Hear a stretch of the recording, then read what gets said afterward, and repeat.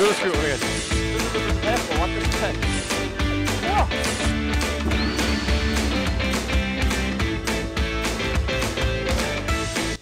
皆さんこんばんは。気候な加古川店の審査です。こんばんはトミーです。こんばんは。いやーいよいよ僕が気候な加古川店さんの一員として本日から、えーこちらで働くことになりました。よろしくお願いします。よろしくな。あよろしくお願いいたします先輩何言ってるんですか？まあ今日はね4月1日エイプリルフールということでね、ちょっと冗談挟んでみましたが。さあトミーさん。もう森店長が一言も笑ってないとねもう。あいつ来るの？みたいな。もう森でとなんか僕みたいなやっぱスタッフがこう入ってくるとちょっと厄介だなっていうのは正直あります？どうぞどうぞ。厄介ですかやっぱり？厄介ですか？でも頑張りますよあの接客も。接客もあの挨拶も。あのキビキビ動きますしでもホールの中央で指示しますんでちゃんと。休憩入って。はい今の休憩上がって。普通にできそうやからね。今上がって、えさあというわけで今回ですね、はい。えー5回目のバトルになるんですけれども、えーまあ、過去4戦は、えートミーさんの3勝私の1敗ということで、まあ、散々な結果が続いてますが今日はですね森店長に一つお願いがありますこちら気候な加古川店さんでジャグラーシリーズ以外で最も設置台数が多いあの ART 機の設定5を出してほしいんです。はい。なんとこちら気候な加古川店さんにはですねオス番長3が32台もあるんです。すごいですね森店長。まあ、当然ねあのそれだけ支持されている機種というふうに僕は思っておりますので番長3の熱が2020年上がっていったらいいなっていう気持ちも込めて今日はあの設定5のバトルを行っていきたいと思いますそしてバトルの内容はですねなんで設定5を打つかというとやっぱり絶頂対決が見たいじゃないですかというわけで、まあ、今回もバトルは出玉勝負なんですけれども、まあ、その中でどちらが先に絶頂対決に入れれるかあるいは絶頂対決でどちらが多く乗せれるか、まあ、そういったこうちょっとね対決要素も含めてバトルをやっていきたいと思ってます負ける気しないなんか今日はトミーさんがすごい強気なんですよね。いつも強いんですけど。プライベートでももう何回かやっぱり引けてますから。強いですよね。引きはいが強いですよね。そうですね。まあでもね今日はちょっとトミーさんが実戦にあんまり集中できないような質問もいろいろぶつけていきたいと思いますので、えー今回も最後までどうぞよろしくお願いします。さあというわけで今回はオス番長3の設定5をトミーさん。はい勝負していきましょう。いやー僕ねめちゃめちゃ楽しみにしていたというか今年は自分自身も番長に強くなろうという気持ちが強いので今日は気合が入ってます。負けませんよ。負けません。はい、で今森店長に設定5にしてもらいました。はい。ちゃんと見てましたんで、ええ。今回も設定変更5というところからスタートしたいと思います。よろしくお願いしおます。願いします。お願いします。まあ最終的にはどっちがたくさん出せるかっていうバトルなんですけどもやっぱり5を打ってますので絶頂対決は見たいですよね。絶対出す。言いましたね。絶対出す。さあリセット後ですからまず最初の対決が楽しみなところでもありますよね、最初の対決10%で確定対決。勝てれば50%で80%ループ朝一の楽しみはそこですよね番長3はね。さっきのシルエットが出てますはいえー、チェリーからです。ね MVP から。まあ10%には引っかかってないかなと思いますけどここはタイミングよく MVP 引いてますね。で設定5を打ってるのでまあ多少お当たった。え一応ね特殊抽選も低設定よりは高めというところで、まあ、ベルも引いてたんでそれで当たってくれたのかなというところー、でさすがにこれで80%は取れてないとは思います、まあ、ただこれで幸先よく ART に入りましたので1日目高大寺からまずはボーナス当選あるかどうか。あればボーナス当選時の25%で絶頂対決ですね設定後は。ちょっと出花をくじかれたっていうかねちょっとあれって感じしましたね今。いやもうさすがにトミーさんに負けっぱなしなんでですねここまで。そうですか。はい。いやこれで ART の初当たりに時間かかっとるようじゃちょっとお話になりませんよトミーさん まあ見といてください。はい。言うてやっぱ絶頂引いてなんぼなんで確かにですね。決めてやるよ。一発目で。はいいきなり全長きました。ちょっとシャッターがちょっと調子悪いんで。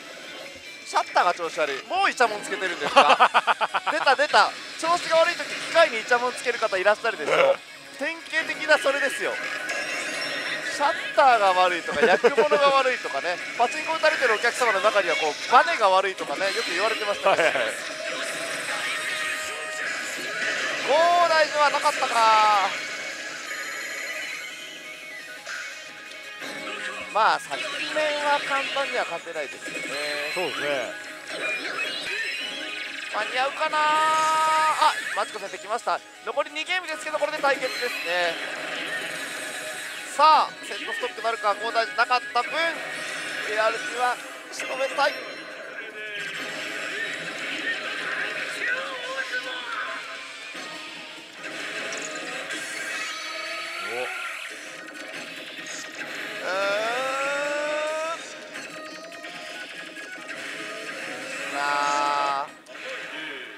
はい1セット目終了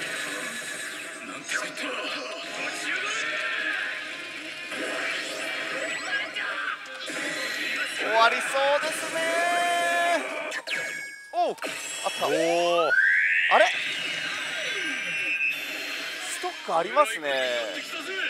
まあ80%のループストック取れてる可能性もゼロじゃないんでですね。ちょっとこれね上乗せなしで出てきたっていうのはもしかしたら朝一10%の対決取っとったかもしれないです。いやーこれは楽しみ。出玉でも勝つ先に絶頂入れるのも僕。今日はすいませんトミーさん。もう尺の8割僕がいただきます。いやーちょっといきなり良くないな。いや今回いろいろねトミーさんにお話を聞きたいなと思ってたのははい。やっぱりこうただ僕らがスロットをね打つだけじゃなくてこうお店あるあるというかはいそういったものをちょっとこうお話ししていけたら面白いなと思ったんですけど、はい。ちょっと一つねあの不正行為についてのお話を聞いていこうかなと思ったんですはい。まあやっぱりお店で営業してるといろんなお客様がいらっしゃるじゃないですか。えその中でまあ不良客と言われるお客様とか不正を働くお客様とかいっぱいいらっしゃったでしょ？えいやーまあそうですね。中でもはい。こいつは立ち悪かったなっていう人いましたまあまあいますよね絶対ね、まあまあまあまあまあまあ。まあ絶対いますよね。はい。ほとんど P になると思いますけどね。はちなみにあの僕がいたお店ではですね、い。はあの両替機を持って帰ろうとしたいいやいやいや。とんでもないそれはいか外国人がいたんですよ、まあ、両替機が出入り口近くにあってんなるほど。その出入り口近くの両替機を2人で運ぼうとしてる人がいたんですよ。当然バレますけどねあの未遂に終わったんですけどもちろん。それは警察に通報したんですかやっぱり？いやダメやだだダメよダメよって言って。何しよんって。何しよんっていうでねあの何度か僕動画の中でも話したことがあるんですけどはい。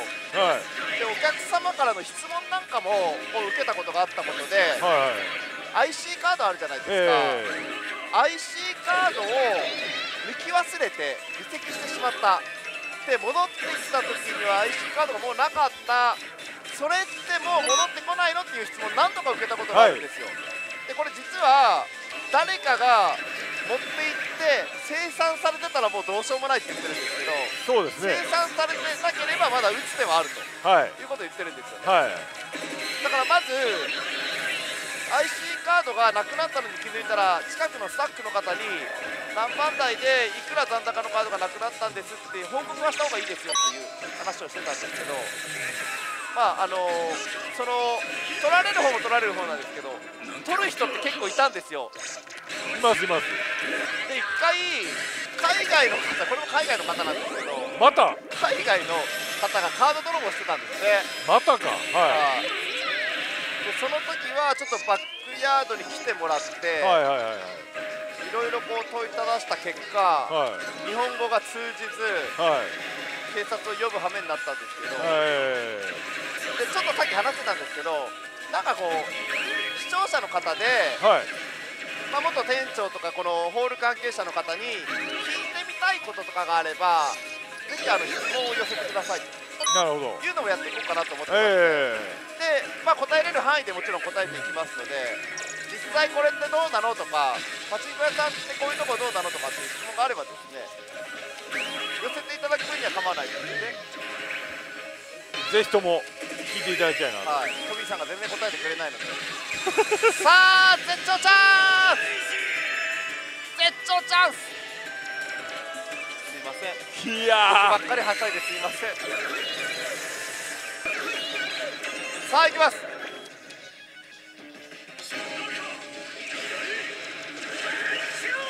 あーっ。と熱っー。いやこれは熱いぞ。ーやばい。っ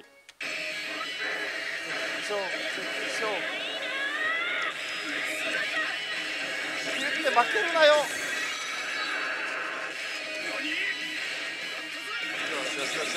さああとはボーナスか絶頂か。お先に失礼します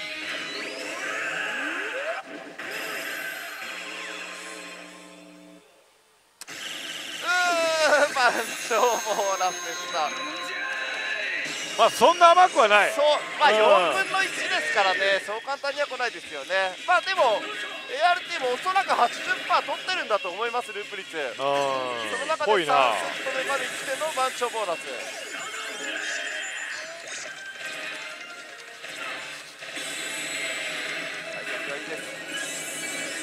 これ圧勝じゃないか今日は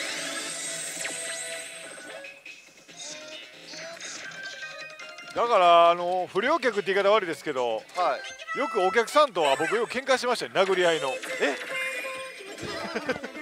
きました。お客さんともうプロレスみたいいになってましたから。最初僕が殴られて僕も腹を立てて掴みかかって応戦するという。それ役職店長の時ですか？役職の時です。役職の時ですか、はい。恐ろしい役職者ですね、はいあの掴みかかってきたお客様に応戦するって。警察来るまでずっとこうヘッドロックしたままこう動くなお前！って。それあのー、なんでそうなったんですか？なんかねよっぽど感情的になられたってこと最初台を叩いてたんですかね。はいはい大パンですか？で「ちゃうちゃうちゃうちゃうちゃうちゃうちゃう」何回か言ってて3回目ぐらいで「ちゃうちゃうちゃう」って言った時に、はい、裏剣かばされたんですよ。バチンって。あじゃあちょっとそこでガーンってなったはい瞬間にもう僕ももうカチンってきてはい。気がついたらもうこうなってました。おおみたいな。えー、あるんですね。まあでもその声のかけ方ってめちゃくちゃ難しいんですよ。大パンまあ台を叩かれるお客様にやっぱり注意しないといけないじゃないですか。周りのお客様もね嫌がられるんで他のお客様のご迷惑になりますんで台の方はとかねどうされましたって言いながらこうすごく丁寧に行くんですけどまあそこで裏裏剣されるっていうのはね多分言い方も多分ちょいちょいちょいちょいちょいちょい。いやいやもうすごい丁寧に。お客様もう3回目ですよ。ちょうちょお客様。そしたらバンバンでもそれはいけないことですもんね。いけないことです。大いや僕らもやっぱりなんかもう、はい。昔のパチンコ店ってなめられたらあかんみたいな。そうですねありましたね。おおチャンスチおおやっぱあのー、まあマジか。5打ってるんでチャンスチェリーの出現率も8192分の1まあまあ高めなんですよ。まあ引いちゃいますよね。すげえ。高くはないけどすごいコットと一緒の確率ですよね。まあまあまあ。今良くなりましたよね。さあチャンスチェリー引いてますのでもちろんここはまあどちらかのいただきジャーにストップいただきます。青でこい。青でこいはいさあこれで3セット目うわーなんかこれ閉店後っていうのがねこんな朝から打ち始めてすぐ来たらもうめちゃめちゃ嬉しいですよね番長スリー受けてね。そもそももうこの時間でチャンスチェリー引けたことに高設定の期待高まるじゃないですか。乗るんだろうなこれも。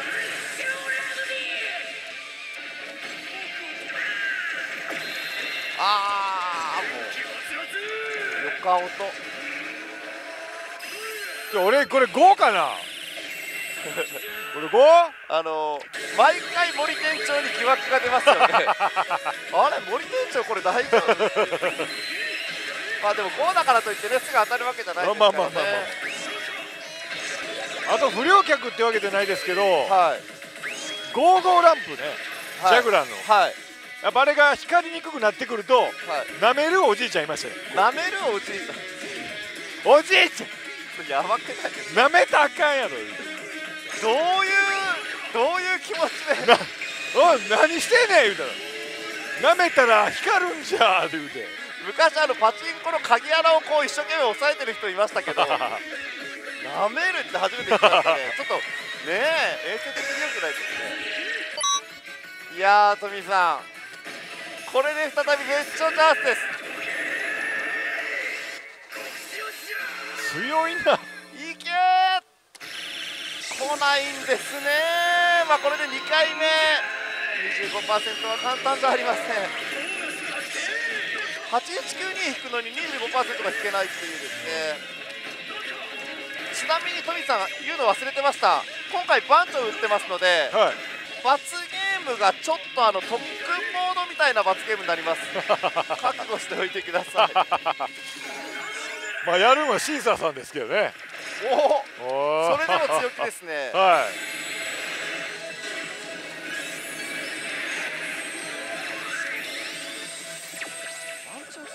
い。面白いな。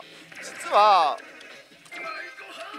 相性が悪くてあんまり打ってなかったんですよ今まで。なるほど。僕はでもこの間ちょっといやシーさん今年は番長打たんとダメよって言われてまあ確かにそうですね、まあそうですね。はい。そういう年になりそうなイメージはありますね。そうなんですよね。はい。なのでちょっとね相性が悪いから打たないとも言ってられず相性が悪いんだったら相性よくすりゃいいっていう話ですね。ちょっと待ってくださいね。質問しといてすいませんあんまりベルは引けなかったけどここはしっかり1つを乗せてボーナス終了です。で今ね箱の中にメダルをしっかり入れてるのはこれがトミーさんへの罰ゲームになりますので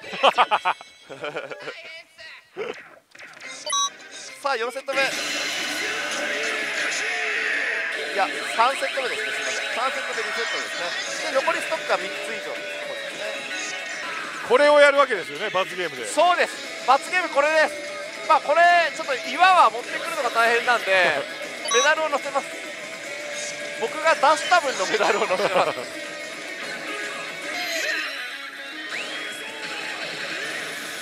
さあゴーダイに行けば。おー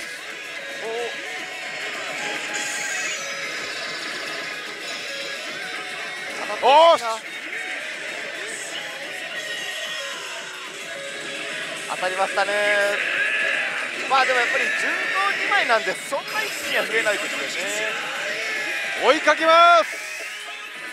さあどっちが先にいただき対決に入るか。えこれいただきいただき引いた方が勝ちですか？あいただきじゃない。絶頂ですね。あごめんなあさい絶頂。あいや絶頂はむしろいや5打ってるんだから絶頂は入れなきゃダメよっていうところです。で結果的に出した方が勝つ。変えてもいいですよ。じゃあ絶頂でどっちが乗せれるかああいいっすね。セッ絶トをどっちが乗せるか。オッケーオッケー。絶頂のセット中乗せどうしましょう。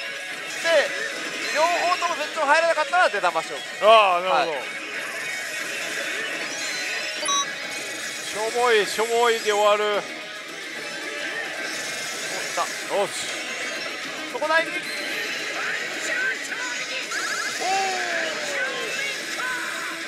おお対決いきますよがにそこは乗せなダメでしょ。そうですね。あれ？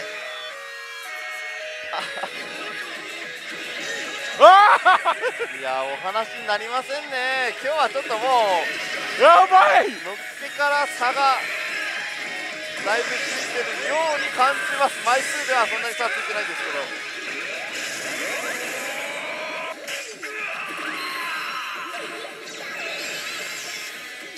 さすがに出ないですねいきなりは。そうですね。えまあでも絶頂入れてたくさん乗せればー、勝ちですから。そうですね。終わらんなこれは。おおストック3つ以上の示唆、うね、3セット以上。まあ80%これでもう間違いなく取ってるんじゃないかと思います。わあよかった。なんかいろいろ演出見ながらまたねお勉強できるんで嬉しいですねこれは。トドロケドリーム流れてます。いいな。なかなか乗らんな。わあわあわあわあ。これも結構珍しい演出じゃないですか。えー、セットが？まだ3セット以上あるってことか。マジか。そもそもこの番長シリーズの初代は4号機のオス番長なんですよ。僕これ初めて見たかも。さりげなく。う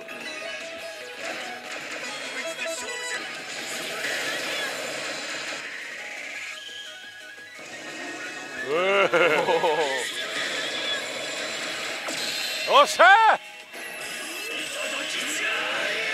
当たりますね。さあさんの背中に乗せる重りが増えてますちょっとずつ。出した分だけ背中に乗せます。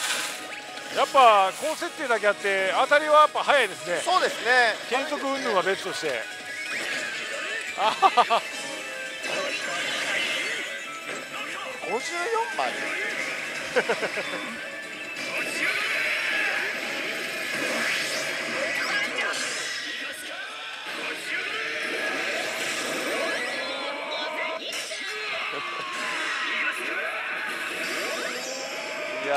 これすいませんなんか隣で騒がしくて。これ実際のホールでサンドにお金入れて売ってたらもう申し訳なくて仕方ないですよね。閉店後なんでまだねしっかりしてくださいって言えますけど。これ今日僕は AR ティンだけで終わってしまうんじゃないか。いやーすごいな。トミーさんが決勝引くまではなんとか持たせたい理想は同じタイミングぐらいでね絶頂くれば最高ですけどね。なんか今日兵庫県に着いて気温が17度とかあったらしいんですよ。すごい暖かかったですね今日結局関西も今年雪降ってないんじゃないですか。一回来たかな？当たりじゃないですか。はい。はい当ててくださいよ伸びないな。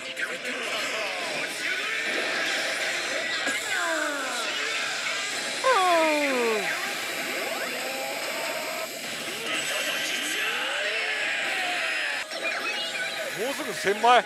はい。早いです意外と。なんやかんやトミーさんも短いゲームで引き戻してるんですけど全然下なら増えてないですね。全 然ギリギリのところ。もうでも初当たり3回目ですからね。そうですよね。やっぱ早いですよね。ああそうです。あやっと来ました。合流角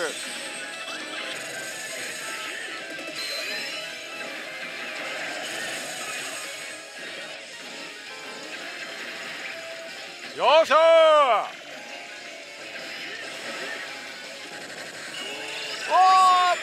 さんにやっときた絶頂ちょっとちょっと一発目で仕留められたらそれはそれでちょっと悔しいと思う